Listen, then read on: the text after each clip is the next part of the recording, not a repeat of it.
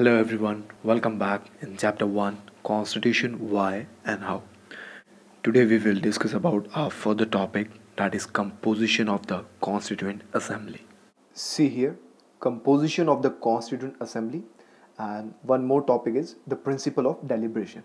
So without wasting our time, let's start. So our topic is composition of the Constituent Assembly. देखिए composition का मतलब क्या होता है composition means creation okay? Or uh, formation or design okay? So here we discuss about the creation of the constituent assembly or uh, formation of the constituent assembly. Now the question is what is a constituent assembly? Guys a constituent assembly is a body or assembly of popularly elected representatives which is assembled for the purpose of drafting or adopting a constitution or any similar document. Okay, guys, listen carefully. As a consequence of the partition under the plan of 3 June 1947, those members who were elected from territories which fell under Pakistan ceased to be the members of the Constituent Assembly. Guys, 3 जून 1947 के जो plan था उसके according partition के बाद वो सभी जो representatives थे कॉन्स्टिट्यूंट असेंबली के सदस्य मेंबर्स नहीं रहे, जो पाकिस्तान की कॉन्स्टिट्यूंसी से इलेक्ट होके आए थे। The number of members in the assembly was reduce to two ninety and the constitution was adopted on twenty six November nineteen forty nine to eighty 284 members were actually present on 24 January 1950. And appended their signature to the constitution as finally passed. And the constitution came into force on 26 January 1950 guys मैंने आपको बताया कि 3 जून 1947 के जो plan थे, उसके according जो partition के बाद, जितने भी रिप्रेजेंटेटिव्स थे कॉन्स्टिट्यूंट असेंबली के मेंबर्स नहीं रहे, जो कि पाकिस्तान के कॉन्स्टिट्यूंसी से चुनकर आए थे इलेक्ट होकर आए थे, ठीक है? अब बताया गया है कि कॉन्स्टिट्यूशन असेंबली के जो मेंबर्स थे, वो अब 299 ही रह गए। पहले ज़्यादा थे, लेकिन बाद में 299 ही हो गए। और इनमें से 26 नवंबर 1949 को टोटल 284 मेंबर्स ही प्रेजेंट थे। और इन प्रेजेंट मेंबर्स ने ही फाइनल किया था सिग्नेचर करके कॉन्स्टिट्यूशन पर कि हाँ ये कॉन्स्टिट्यूशन अब पास किया जाता है। फिर 26 जनवरी 1950 को हमारा कॉन्स्टिट्यूशन फोर्स में आया, ठीक है? Then the constitution was thus framed against the backdrop of the horrendous violence that the partition unleashed on the subcontinent. But, but it is a tribute to the fortitude of the framers that they were not only able to draft a constitution under immense pressure but also learned the right lessons from the unimaginable violence that accompanied the partition. Okay. सो इस तरह से हमारे सब continent में partition से create हुई जो terrifying violence था, उसके बीच में हमारा कॉन्स्टिट्यूशन का एक तरह से क्रिएशन हुआ है। बिकॉज़ जो पार्टीशन हुआ वो वो कोई छोटा मोटा वायलेंस नहीं था, वो एक बहुत ही हॉरेंडस वायलेंस था टेरिफाइंग जिसको हम कह सकते हैं कि फियरफुल वायलेंस भयानक।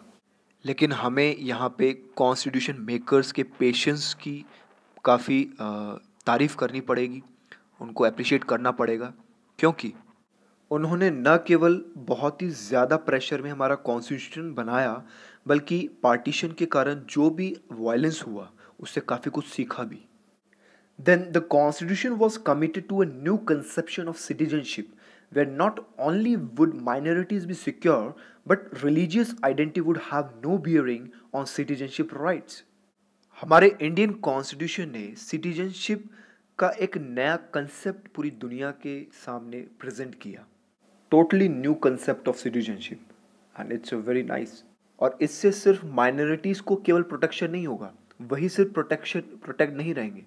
बल्कि जो रिलीजियस आइडेंटिटी है, उसका भी सिटीजन्स राइट पर कोई ऐसा बुरा असर नहीं पड़ेगा। But this account of the composition of the Constituent Assembly that drafted the Constitution touches upon only the surface of how our Constitution was made. मैं आपको एक चीज़ बताना चाहूँगा कि जो कंपोजिशन था कॉन्स्टिट्यूंट असेंबली का जिसने कॉन्स्टिट्यूशन को ड्राफ्ट किया वो सिर्फ़ यही बताता है कि सरफेस लेवल पर कॉन्स्टिट्यूशन कैसे बनाया गया Although the members of the assembly were not elected by universal suffrage, there was a serious attempt to make the assembly a representative body. Members of all religions were given representation under the scheme described above. In addition, the assembly had 28 members from the scheduled caste okay and in terms of political parties the congress dominated the assembly occupying as many as 82% of the seats in the assembly after the partition and the congress itself was such a diverse party that it managed to accommodate almost all shades of opinion within it. Okay. हमारे जो constituent assembly के जो members थे, वो elect नहीं हुए थे universal suffrage के बेस पे। अब देखिए यूनिवर्सल सफरेज क्या होता है? जहाँ पे सिटीजन्स को एट एटीन ईयर्स से अबव जो सिटीजन्स होते हैं, उनको राइट होता है कि वो वोट दे सकते हैं। तो ऐसा कोई यूनिवर्सल सफरेज के बेस पे हमारे जो रिप्रेजेंटेटिव्स हैं कॉन्स्टिट्यूशन असेंबली के, उनको इलेक्ट नहीं किया गया था।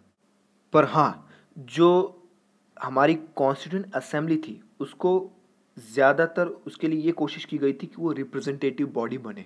अलग अलग कम्युनिटीज़ को रिप्रेजेंट करे वो कॉन्स्टिट्यूंट असेंबली ये ज़रूर कोशिश की गई थी। हमारे इंडिया में जितने भी मेंबर्स थे अलग अलग रिलीजन्स के, उन सबको एक तरह से रिप्रेजेंटेशन दिया गया, ठीक है? कि हर रिलीजन से एक रिप्रेजेंटेटिव तो हो। पॉपुलेशन के बेस पे किया गया, लेकिन ये मैंने आपको पहले भी बताया था ये। जैसे टेन लाख पॉपुलेशन पर वन रिप्रेजेंटेटिव होगा। और थ्री मेन कम्युनिटीज़ थी Muslim six and general three categories के अंदर था ये। और जो हमारी कॉन्स्टिट्यूंट असेंबली थी, उसके अंदर ट्वेंटी एट मेंबर्स थे, जो कि शेड्यूल कास्ट से थे। And as we know schedule caste is a marginalise groups और मार्जिनलाइज ग्रुप्स होते हैं जो पास्ट में इग्नोर कर दिए गए हैं। जिनसे सारे राइट्स ले लिए जाते हैं सोसाइटी उनको इग्नोर करती है, ठीक है? शेड्यूल कास्ट को पावरफुल बनाने के लिए हमारी कॉन्स्टिट्यूंट असेंबली में ट्वेंटी एट मेंबर्स जो थे, वो शेड्यूल कास्ट से थे। और जहाँ तक पॉलिटिकल पार्टीज़ का सवाल है पार्टीशन के बाद कॉन्स्टिट्यूशन असेंबली में कांग्रेस का सबसे ज़्यादा डोमिनेशन था, इसमें कोई डाउट नहीं है। बिकॉज़ कांग्रेस पार्टी को 82 परसेंट सीट्स मिली थी। बट कांग्रेस खुद एक ऐसी पार्टी थी, जिसको आप ये कह सकते हो कि एक डाइवर्स पार्टी थी, जिसके अंदर अलग अलग ओपिनियंस के लोग अलग अलग ओपिनियंस के लीडर्स थे, जिनका सोचने का तरीका अलग था। तो ये बहुत ही कन्फ्लिक्शंस था। सो आई होप आपको ये composition of the constitution assembly समझ में आया होगा।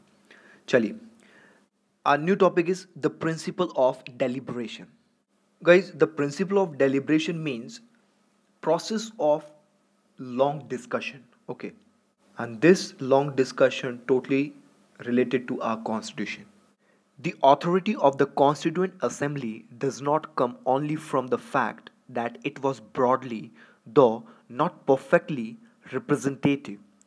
It comes from the procedures it adopted to frame the constitution and the values its members brought to their deliberation.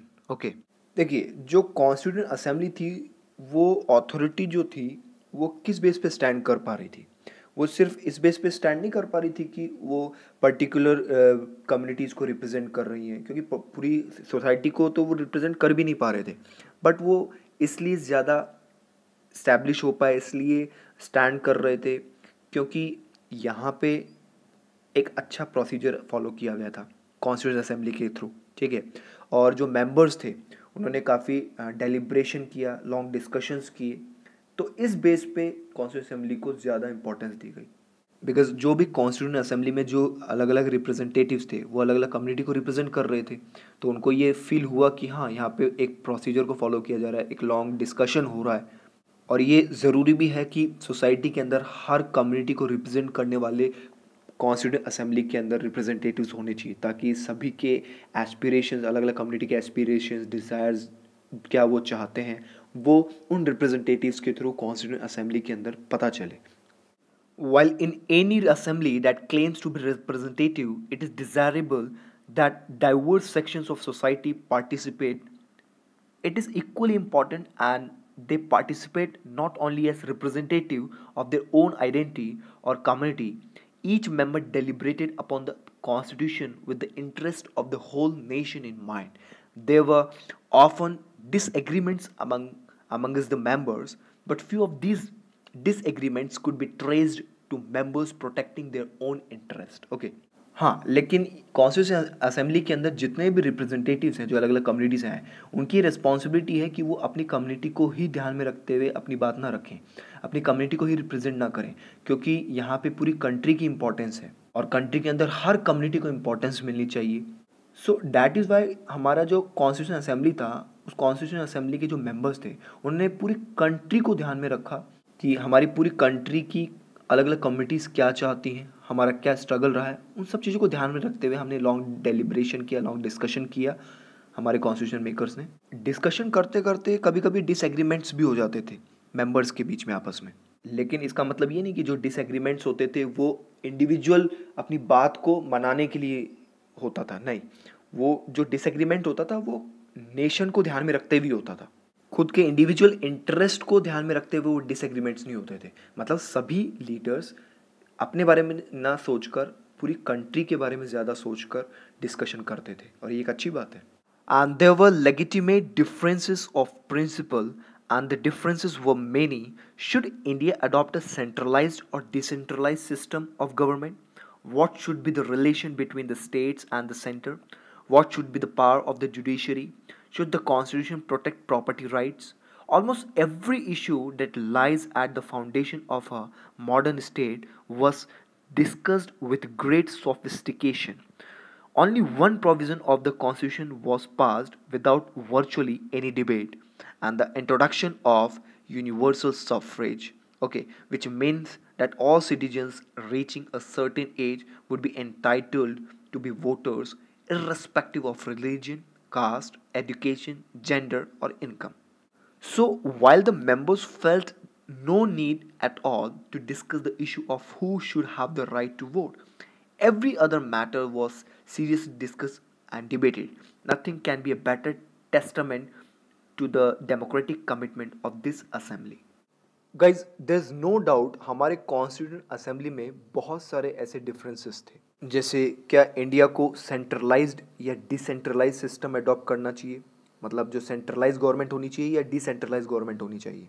हमारे इंडिया में स्टेट और सेंटर का क्या रिलेशन होगा? स्टेट गवर्नमेंट और सेंट्रल गवर्नमेंट का क्या रिलेशन होगा? हमारे इंडिया के अंदर जो जुडिशरी सिस्टम है, उसके पास कितनी पावर्स होंगी? क्या क्या पावर्स होंगी? क्या कॉन्स्टिट्यूशन को प्रॉपर्टी राइट्स का, को प्रोटेक्ट करने का राइट right है? या कॉन्स्टिट्यूशन क्या प्रॉपर्टी राइट्स को प्रोटेक्ट करता है? या करना चाहिए? मतलब लगभग उन सभी सब्जेक्ट्स पर काफ़ी डीपली डिस्कशन हुआ, जो किसी भी मॉडर्न स्टेट या मॉडर्न कंट्री का बेस हो सकता है, और एक अच्छी बात है। हाँ कॉन्स्टिट्यूशन का सिर्फ़ एक ही ऐसा प्रोविज़न है, जो करीब करीब बिना किसी डिस्प्यूट्स के, बिना किसी डिफरेंसेस के पास हो गया, और वो है यूनिवर्सल सफरेज यूनिवर्सल सफरेज का मतलब है कि कंट्री के अंदर किसी भी पर्सन के साथ डिस्क्रिमिनेशन नहीं होना चाहिए किसी भी रिलीजन के बेस पे, ठीक है? किसी भी कास्ट के बेस पे एजुकेशन के बेस पे जेंडर और इनकम के बेस पे। हाँ जो उसका क्राइटेरिया है वो ये है कि हर पर्सन को वोट देने का अधिकार होगा, ठीक है? पर्टिकुलर जो एज डिसाइड की जाएगी कॉन्स्टिट्यूशन मेकर्स के थ्रू ठीक है? और इस यूनिवर्सल सफरेज के ऊपर हमारे जो मेंबर्स थे कॉन्स्टिट्यूशन असेंबली के जो मेंबर्स थे, उन्होंने इस पर कोई लॉन्ग डिस्कशन नहीं किया, क्योंकि उनको लगता था ये ज़रूरी नहीं है। बिकॉज़ वो ये मानते थे कि वोट देने का सभी का राइट है बट पर्टिकुलर एक एज डिसाइड की जाएगी। उस डिसाइडेड एज के बेस पे आपको वोट डालने का अधिकार है। हाँ लेकिन यूनिवर्सल सफरेज के अलावा जितने भी टॉपिक्स थे, उनके ऊपर काफ़ी लॉन्ग डिस्कशंस हुआ, ठीक है? डिस्प्यूट्स भी हुए, और ये अच्छी बात थी, क्योंकि डेमोक्रेसी के अंदर ये इसको हेल्दी माना जाता है। और कॉन्स्टिट्यूशन असेंबली के मेंबर्स के थ्रू इस तरह का जो इन्वायरमेंट क्रिएट किया गया था कि प्रॉपर तरीके से डिबेट एंड डिस्कशन जो किए जा रहे थे एक्सेप्ट यूनिवर्सल सफरेज को छोड़ के तो ये एक बहुत ही अच्छा साइन था डेमोक्रेसी के लिए। Then the constitution drew its authority from the fact that members of the constituent assembly engage in what one might call public reasons the members of the assembly placed a great emphasis on discussions and reasoned argument. They did not simply advance their own interest, but gave principled reasons to other members for their positions. The very act of giving reasons to other make you move away from simply a narrow consideration of your own interests because you have to give reasons to others to make them go along with your viewpoint. Okay. देखिए constituent assembly को authority असली जो real authority थी वो इस बात से मिल रही थी कि कॉन्स्टिट्यूंट असेंबली पूरी तरह से डेडिकेटेड थी कंट्रीज़ के जो सिटीजन्स हैं उनके लिए। और कंट्री के जो सिटीजन्स उनका सपोर्ट भी मिल रहा था कॉन्स्टिट्यूशन असेंबली को कॉन्स्टिट्यूशन असेंबली के मेंबर्स को। और इस कॉन्स्टिट्यूशन असेंबली के जितने भी मेंबर्स थे, उन्होंने डिस्कशन, डिबेट्स पे काफ़ी फोकस भी किया। और ये अच्छी बात है। कॉन्स्टिट्यूशन जो कॉन्स्टिट्यूशन मेकर्स हैं, उन्होंने अपने इंटरेस्ट को ध्यान में रख कर नहीं, बल्कि सभी के इंटरेस्ट को ध्यान में रखते हुए अपनी बात रखी और कंट्री को इम्पोर्टेंस ज़्यादा देते हुए डिस्कशंस किया डिबेट्स किया। और आपस में एक दूसरे को उन्होंने जो भी रीजंस दिए, वो बिल्कुल क्लियर किए कि हम क्यों पर्टिकुलर चीज़ को सपोर्ट कर रहे हैं, क्यों नहीं कर रहे हैं। बिकॉज़ अगर आप चाहते हैं कि सभी आपकी बात माने, सभी आपके सपोर्ट में रहें, आपके, आपका जो पॉइंट ऑफ़ व्यू है उसको सपोर्ट करें तो आपको हंड्रेड परसेंट उनको कुछ रीजन्स प्रॉपर वैलिड रीजन्स तो देने पड़ेंगे ना। Then the voluminous debate in the constituent assembly where each clause of the constitution was subjected to scrutiny and debate is a tribute to public reason at its best and these debates deserve to be memorialise as one of the most significant chapter in the history of constitution making totally equal in importance to the French and American Revolution, no doubt हमारे Indian constitution assembly ने constitution के लिए हमारे Indian constitution को बनाने के लिए बहुत ही ज़्यादा डिस्कशन लॉन्ग डिस्कशंस किए हैं डिबेट्स किए हैं तब जाके एक सही डिसीज़न लिया है। और हमें इससे ये पता चलता कि हमारे जो कॉन्स्टिट्यूशन मेकर्स थे वो बहुत ही इंटेलिजेंट थे ठीक है? और इससे एक सेंटिमेंट भी सामने आता है कौन सा सेंटिमेंट इंटेलिजेंसी वाला सेंटिमेंट जो हमारे सभी कॉन्स्टिट्यूशन मेकर्स के पास था। और आपस में कोऑर्डिनेट करके उन्होंने ये इंटेलिजेंसी सेंटिमेंट्स दुनिया को दिखाया। ये बहुत ही अप्रिशिएबल है। अप्रिशिएबल इसलिए क्योंकि ऐसा करना आसान नहीं होता है। आप अलग अलग कंट्रीज़ का कॉन्स्टिट्यूशन देखिए, कितना क्लैशेस होता है उनमें, कितने कन्फ्लिक्शंस होते हैं। तो इट इज़ वेरी इंपॉर्टेंट कि हमारा कॉन्स्टिट्यूशन एटलीस्ट बहुत स्मूथली चल रहा है। जैसे हिस्ट्री के अंदर फ्रेंच रिवॉल्यूशन अमेरिकन रिवॉल्यूशन के ऊपर काफ़ी डिबेट्स हुई हैं ठीक है? सेम सिमिलरली हमारे कॉन्स्टिट्यूशन को बनाने में भी आ, बहुत टाइम लगा है और हिस्ट्री के अंदर काफ़ी डिबेट्स हुई हैं ठीक है? तो ये एक अच्छी बात है क्योंकि जहाँ जितना स्ट्रगल होता है जहाँ जितना डिबेट होता है डिस्कशंस होता है तो वो चीज़ अपने आप इंपॉर्टेंट बनी जाती है और हमें ये चीज़ कभी नहीं भूलना है। हमारे हिस्ट्री का इंडियन हिस्ट्री का सबसे इंपॉर्टेंट एस्पेक्ट है ये कॉन्स्टिट्यूशन मेकिंग जो कि हमें हमेशा याद रखना चाहिए। So I hope you understand later we will discuss about our further topics thank you